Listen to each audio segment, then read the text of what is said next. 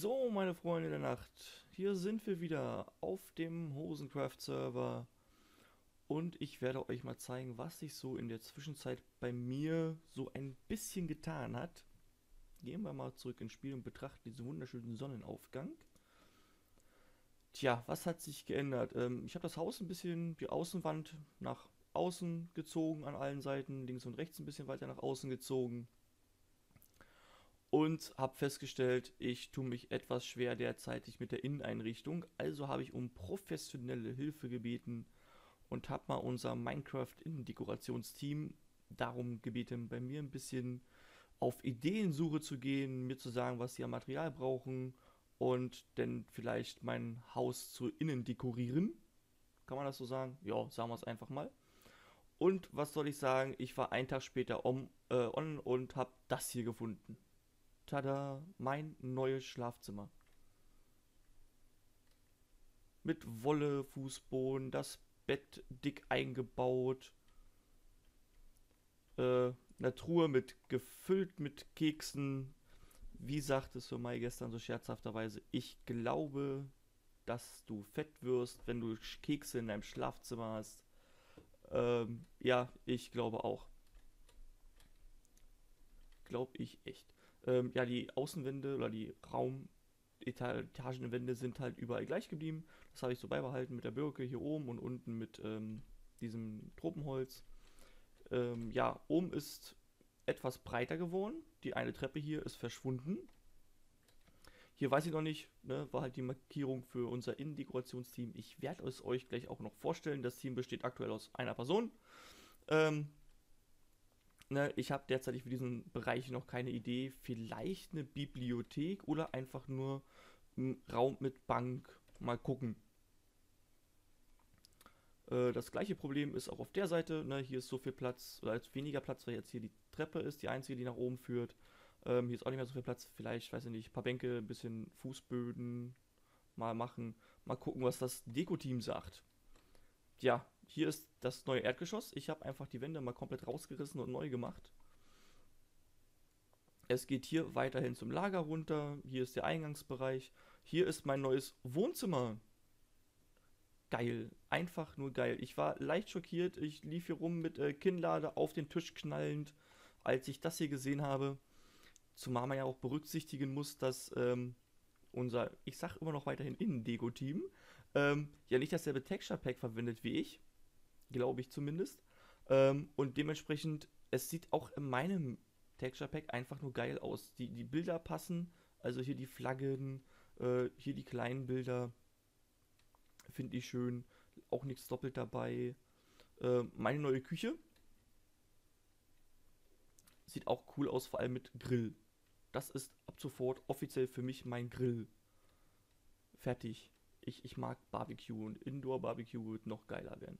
Äh, ein kleiner Vorratsraum, habe schon fleißig befüllt, hier ein paar Pilzsuppen gemacht und äh, ein, zwei bis fünf Melonen. Woher die stammen, zeige ich euch gleich noch. Ja, die Fleischkiste und äh, Brot. Den Kuchen bekam ich gestern von der Lillifee geschenkt.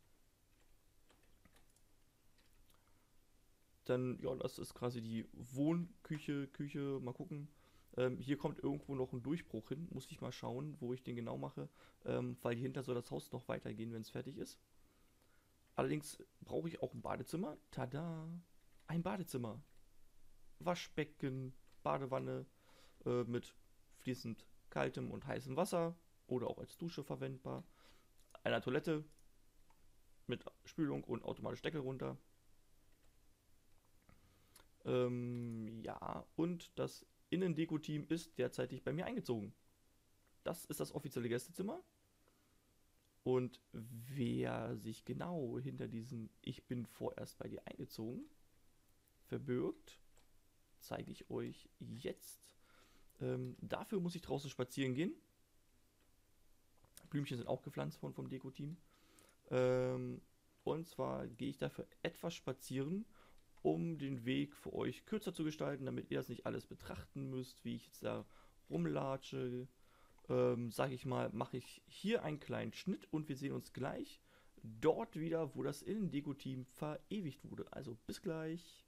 So, da sind wir wieder zurück, oder ihr zumindest. Ich bin ja die ganze Strecke gelaufen. Und ich schalte mal kurz das Menü aus, dass man das nicht sieht.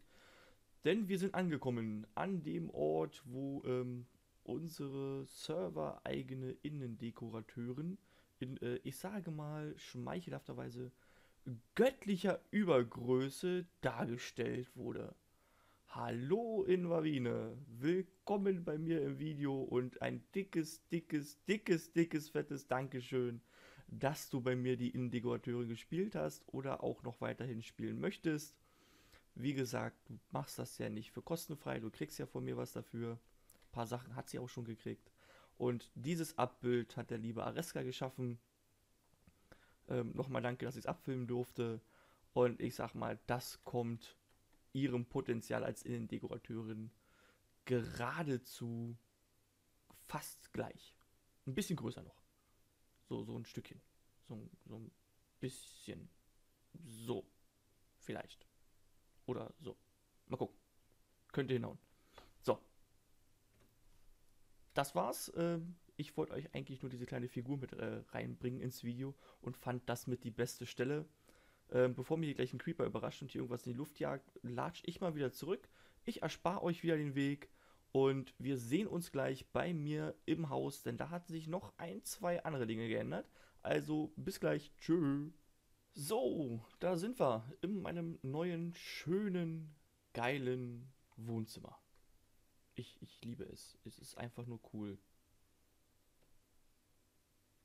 So. Was hat sich noch geändert? Ähm, ja, hier oben gar nichts. Hier unten, ich habe die Treppe jetzt eigentlich mal ein Stück, habe ich die Treppe ein Stück zurückgezogen gehabt bei den äh, Abrissarbeiten. Dadurch sind hier zwei Kisten jeweils mehr geworden. Also insgesamt eigentlich, ja, 4, 8, 16 Kisten. Ja, auf der ganzen Etage. Äh, das hat sich eigentlich, sonst hat sich hier im Lager nicht viel geändert. Es sind ein paar Diamanten mehr geworden. Dafür weitaus weniger Eisen. Das ist immer weniger. Das wird ein bisschen mehr. Mittlerweile habe ich auch bloß noch Diamantzeugs, aber ähm, meine Pickaxe-Verzauberungen, ja, ich kriege immer nur Efficiency. So ein Kackdreck. So, der Bahnhof, mittlerweile nicht mehr leer. Mittlerweile hat er schon Schienen. Ähm, die nicht nur aus Langeweile, sondern ich habe eine direkte Anbindung an den Bahnhof irgendwo da hinten äh, von Mai. Den zeige ich euch aber noch nicht, weil das möchte der Mai erstmal selbst erledigen. Verständlich, ist ja auch sein Bauprojekt. Soll er auch zuerst zeigen. Ähm, ich halte es jetzt grundsätzlich so auf dem Server, wenn irgendwer was gebaut hat, wie zum Beispiel das große äh, Invavine-Monument, das, äh, das der RSK gebaut hat, wird frage ich erst nach, ob ich zeigen darf. Äh, wenn ja, dann zeige ich es. Wenn derjenige sagt, nee, äh, er möchte es irgendwann im Laufe von 1 bis 20 Tagen in einem Video einbauen, soll er es tun. Schließlich sein Bauprojekt, seine Zeit, äh, sein Videomaterial und danach zeige ich es dann in meinen Videos oder wenn ich es dann verwenden möchte. Darum, der Bahnhof, diese Strecke und wie lange diese Fahrt dauert, erfahrt ihr im Video von Samai, beziehungsweise in meinem nächsten Video auch nochmal. Ähm, und dann, ja, ich sag mal so, das war, glaube ich, sogar die Server closed. Yeah! Okay, bis gleich.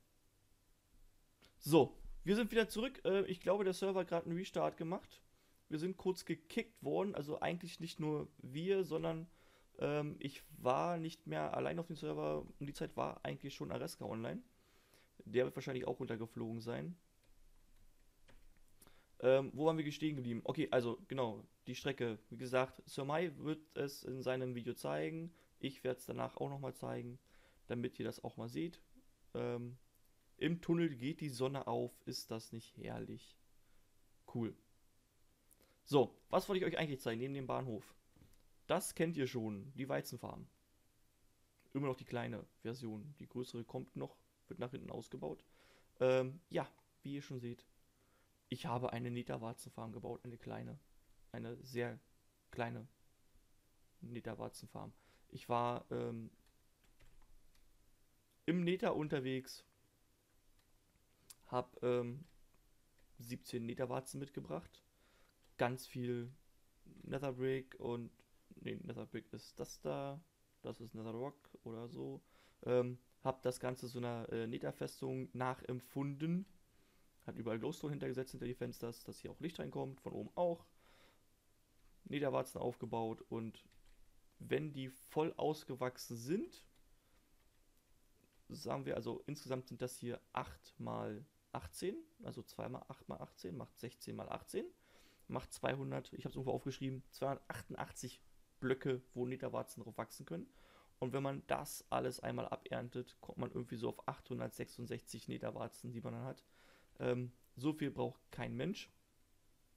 Niemals, niemals, niemals nicht. Ich kann mir nicht vorstellen, dass das irgendwer jemals braucht, so viel. Ähm, warum habe ich es trotzdem gebaut? Weil es geil aussieht. Fertig. Ähm, ein paar von den Niederwarzen werden abgeerntet und landen irgendwann in meinem Zauberturm, den ich ja noch in Planung habe, aber derzeit noch auf Materialsammlung, weil dafür brauche ich einiges an Obsidian. Ansonsten kann sich jeder vom Server zur Info, zuhören, hier bedienen. Ne? Alle vom Server, die das Video schauen, ihr dürft euch hier bedienen, aber einfach bitte wieder anpflanzen.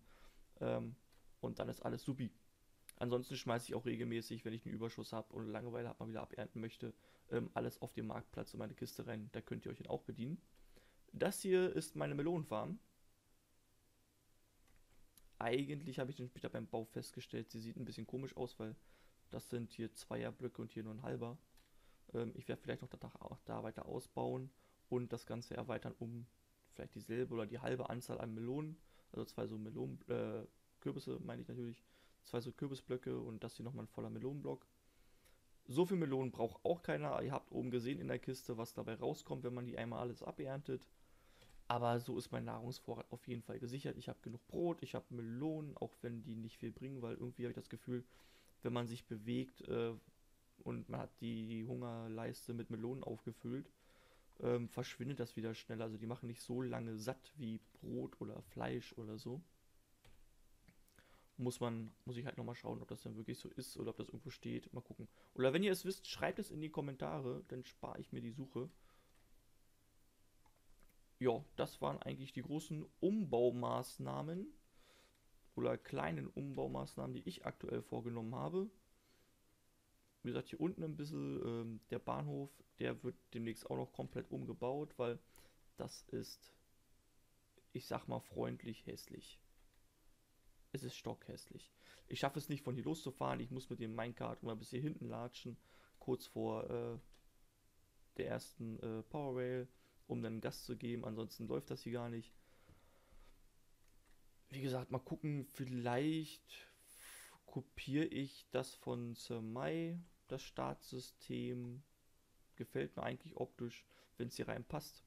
Nach unten ist genug Platz, nach oben ist ja nicht so viel Platz, sind da bloß zwei Blöcke im Prinzip.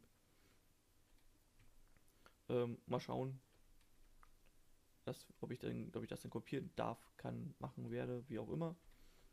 Und dann der Bahnhof wird vielleicht ein bisschen ausgebaut, also dass dann dieser Abzweig hier geplant nicht hier so ist, sondern dass hier eine geschlossene Wand ist, der Abzweig hier ist, irgendwo ist, dass man das gar nicht sieht, der Abzweigung, und die dann hier irgendwo wieder rauskommt, weil die Treppe ja eigentlich im Weg ist, aber das war halt die Direktanbindung. Die Zeit wurde auch schon gestoppt. Ähm, ich überlasse euch das Raten. Das Video wird, glaube ich, noch das von vor, vorm Sir Mai hochgeladen. Also ich überlasse euch das Raten, wie lange dauert die Fahrt von mir zum Sir Mai. Zur Info, sie dauert gar nicht lange. Und es ist, glaube ich, die schnellste Strecke derzeitig auf dem Server, also von der Fahrzeit her. Und sie wird es wahrscheinlich auch bleiben. Je nachdem, wie lange die Strecke von ihm zum Dorf ist. Okay, von ihm zum Dorf wird vielleicht nicht so lang. Aber von Spieler zu Spieler ist das die schnellste Strecke. So, wir haben Tag. Was habe ich noch gemacht? Gehen wir mal schnell raus. Ähm, ja, ich habe ein bisschen Terraforming betrieben. Hier angefangen, den Berg abzureißen. Der soll ja komplett hier verschwinden, der ganze Block. Ihr seht es schon auf der Minimap. Ich gehe mal genauer hin. Ähm, das ist schon alles weggerissen. Ich habe hier wieder Bäume angepflanzt. Irgendwie ist hier wieder ein Mammutbaum bei rausgekommen. Der wird natürlich prompt, ist wieder eingefriedet worden und wird ein, den behalte ich Baum. So, der hier nicht, der wird sterben. Ich brauche wieder Holz. Ähm, das ganze Plateau, hallo Creeper. Genau, der kann mir mal helfen. Komm, mach sprengen. Geht so. So, das ganze Plateau wird abgerissen. Dank der freundlichen Unterstützung des Creepers. Äh, hier habe ich auch schon angefangen, um das zu markieren. Weil ähm, die Monster, wie gesagt, hier, habe ich glaube ich im letzten Video erwähnt, hier immer auf der Mauer springen und das mag ich nicht so. Da bin ich gerade dabei. Äh, was habe ich noch gemacht? Hier hinter der Mauer war ja diese kleine Höhle. So eine kleine Mini-Mine. Die habe ich schon zugebaut, Bäume draufgepflanzt. Habe jetzt gerade das äh, Bodenniveau hier ein bisschen angeglichen, damit es schön aussieht. Weil jetzt von der Dorfinnenseite laufe, laufe, laufe. Ich will euch das schließlich zeigen. Ähm, hier soll eine Schmiede reingebaut werden. Hier so ins Eck. Ob da ein Villager reinkommt, weiß ich nicht. Wenn er eine einziehen möchte, soll das machen, ansonsten nicht. Und hier kommt der Zugang zu dieser unterirdischen Mine hin. Nenne ich den Alt-Gerrys Kupfermine. Und dementsprechend Alt-Gerrys Schmiede. Das ist das neues Gebäude. Was sonst noch hier hinkommt, muss ich mal schauen. Ich habe ein paar Ideen im Kopf. Äh, mal gucken, ob sich das platztechnisch in einer ordentlichen Optik re äh, realisieren lässt. Es fehlt mir immer noch die Ideen, also nochmal an die Jungs und Mädels vom Server, was ich hier in diese Häuser reinsetzen kann. Oder schreibt es mir in die Kommentare. Was können wir in den Häusern hier machen? Soll einfach bloß äh, Bett, Tisch, Stuhl, Schrank fertig? Oder soll hier was Besonderes rein in diese zwei großen Häuser? Weil die sind kahl. Ne? Dementsprechend, was soll hier rein? Was kann man hier reinmachen? Was wäre cool? Müssen wir halt schauen. Jo, das war es dann auch schon mit diesem kleinen äh, Let's Show äh, Info-Video. Ähm, falls ihr euch fragt, ob ich mal ein echtes Let's Play mache, also ein Video, wo ich auch was aktiv im Video baue, ähm, ich weiß es noch nicht. Wie gesagt, ich, ich kann es nicht sagen. Ich habe es am Donnerstag getestet, um auch meine Stimme ein bisschen zu testen, weil die ein bisschen schlapp machte die Woche über. Ähm, und ich habe festgestellt, ich würde es eigentlich gerne machen. Der, der, der Wille ist da. Äh, der Geist ist willig, das Fleisch ist schwach, weil äh, das Fleisch, besser gesagt, der Mund nicht weiß, was er sagen soll. Hier habe ich was zu erzählen, weil ich zeige euch alles, was neu ist, was die Invavine hier bei mir gebaut hat, äh, was ich so umgebaut habe am, am Haus, was, wie gesagt, die Invavine hier innen dekorationstechnisch gemacht hat. Ähm, und solche Sachen, da habe ich Gesprächsthemen aber ich weiß partout nicht, was ich bei einem hm, Let's Build, Let's Play Minecraft erzählen soll. Mir fehlen da echt die Themen und ich vermute mal, es wird eher in diesem Let's Show Format bleiben. Vielleicht, wenn wir mal wieder sowas wie König der Leiter oder King of the Ladder spielen, äh, dass wir vielleicht parallel mit zwei, drei Leuten mal aufnehmen, dass ihr verschiedene Sichtweisen mal habt. Weil ich habe festgestellt, ich habe jetzt die vom, vom Hose gesehen, die Videos, und beim Anschauen, es war noch lustiger beim Anschauen, für mich zumindest, als ähm, das aktive dran teilnehmen beim Spiel, weil ich hatte ständig meine Sicht, man hat sich darauf konzentriert, den anderen von der Leiter zu schubsen und selbst nicht irgendwie dumm fail runterzufallen, was mir fünfmal oder so passiert ist. Ähm, und dementsprechend kriegt man auch nicht so alles mit. Also ein Teil der, der, der Sätze oder Sprüche, die gemacht wurden, sind mir auch entgangen, wenn man sich halt konzentriert, ähm, darauf den anderen von der Leiter zu schubsen. Ähm, und im Nachhinein bei dem Video war es dann doch wieder lustiger, weil man sich dann wirklich darauf konzentrieren konnte, was die anderen gesprochen haben. Dementsprechend solche Sachen oder ich weiß nicht, vielleicht baut hier noch irgendwer irgendwas, was man zusammen spielen kann. Ähm, solche Sachen werde ich vielleicht noch aufnehmen. Aber wie gesagt, ein aktives Let's Play ist beschlossene Sache, wird es nicht geben. Es wird für mich äh, Let's Show-Format bleiben. Wie gesagt, ein, zweimal oder einmal alle zwei Wochen vielleicht. Ist jetzt in einem Wochenrhythmus jetzt immer ein Video rausgekommen. Ist schön für euch. Es ist cool, dass hier was bei rausgekommen ist, dass die immer wieder sich so beeilt hat, obwohl sie es gar nicht sollte.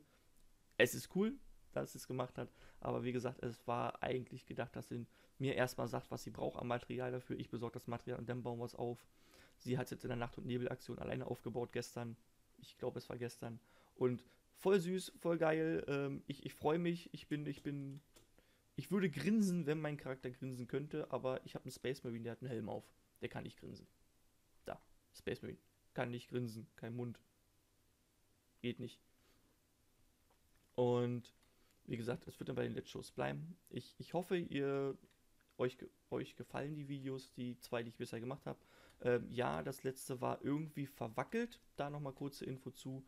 Äh, warum war es verwackelt? Es lag nicht an der Aufnahme selbst, weil die war nicht verwackelt, bevor ich es bei YouTube hochgeladen habe. Aber YouTube sagte plötzlich, oh, ihr Bild ist instabil, sollen wir es stabilisieren? Anscheinend versteht YouTube unter Stabilisieren etwas anderes als ich. Für mich heißt das, es sind keine Wackler drin. Für YouTube heißt das wohl, wir machen mal Wackler rein. Ähm, also wenn mir YouTube das bei diesem Video wieder anbietet, werde ich sagen, nein, bitte stabilisiere das Bild nicht. Es ist stabil, so wie es ist nach dem Hochladen. Ähm, was das Gekrissel angeht, ich weiß nicht, wovon es kommt. Also dieses Gekrissel, wenn eine Bewegung reinkommt, dass es da plötzlich so unscharf wird. Ähm, weil das habe ich nach dem Rendern, das liegt also wenn dann an meiner Render-Software oder an den Einstellungen. Ich habe bisher noch nichts gefunden, um es äh, wegzumachen. Vielleicht liegt es auch wirklich an der Software selbst, dass das es nicht kann. Ähm, wenn einer eine Idee hat von euch bei Magix, wie man das da einstellen kann, dass dieses Grissel bei den Minecraft-Videos weg ist, ähm, sagt es mir, schreibt es mir in die Comments, schickt mir eine PN auf YouTube oder bei Facebook. Facebook ist unten verlinkt in den Videobeschreibungen. Ähm, da könnt ihr mir gerne Nachrichten schreiben. Ihr könnt mich da auch adden bei Facebook, dann kriegt ihr immer die neuesten Meldungen, wann ich ein Video hochlade, ähm, ob ich im Urlaub bin, ob neue Projekte geplant sind. Ähm, schon mal vorweg, ja, es sind welche geplant. Welche werde ich natürlich vor auf Facebook veröffentlichen und nicht hier so einfach reinklatschen, ohne euch vorher darüber zu informieren. Ähm, ja, das war's denn von diesem Minecraft-Video von mir. Bin ich eigentlich immer noch alleine? Ah, Areska ist auch wieder da. Ähm, so, mit diesem schönen Mondaufgang möchte ich mich von euch verabschieden. Ich hoffe, das Video hat euch gefallen. Wie gesagt, Fragen, Wünsche, Anträge, schreibt es in die Kommentare. Ich versuche so schnell wie möglich zu antworten. Wenn es euch gefallen hat, ihr wisst, was ihr tun müsst. Ich muss es nicht sagen. Ähm, dann tut es. Wenn es euch nicht gefallen hat, wisst ihr auch, was ihr tun müsst. Dann weiß ich, was ich verbessern muss. Also ich wünsche euch noch ein schönes, ich sag mal Restwochenende. Ich glaube, am Sonntag lade ich es hoch. Ähm, ein schönes Restwochenende. Und noch viel Spaß in diesem mittlerweile langsam in den fast schon Winter übergehenden Oktober. Wir sehen uns im nächsten Minecraft oder sogar in den nächsten Dawn of War Video. Also bis denne, auf Wiedersehen, adieu und tschüss.